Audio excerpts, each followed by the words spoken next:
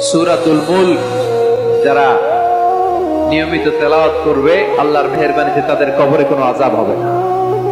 করতে রাজি আছেন? কথা কয় না। করতে রাজি আছেন সবাই?